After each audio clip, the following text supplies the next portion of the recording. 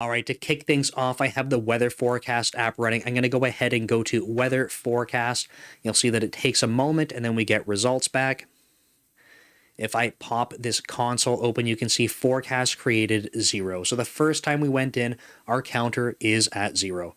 If I go to call weather forecast again, it finishes basically immediately. So if I press enter again and again and again, you can see that instantly we're getting results back and it's the same results. That's because they're cached. And to go back to the console, you can see that forecast created has not printed again. We've only gone into that factory method the one single time. So let's go ahead and expire this entry. When I hit this route, sorry, I should have said flashbang warning, but we expire it. That means that the entry is no longer in the cache.